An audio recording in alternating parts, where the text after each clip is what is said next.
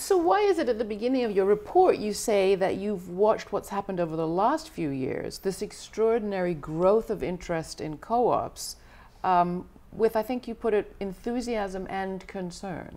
That's right. What's the yeah. concern about? Well, really the concern is the reason I wrote the report. I felt there was a real need for people in the United States to be able to build off lessons already learned and not have to reinvent the wheel. And of course, we're going to make mistakes because we need to take a lot of risks to do this large scale, but we want to make new mistakes and not keep making the same old mistakes. So, and to be more concrete about it, a lot of organizations toying with the idea or maybe getting into co op development in low income communities have experience in community organizing, social work, things like that that are, are very valuable complements to, for cooperative businesses. They, they're an important piece of the puzzle, but they don't necessarily have experience developing businesses.